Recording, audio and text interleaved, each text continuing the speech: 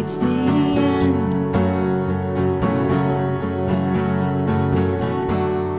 We both know.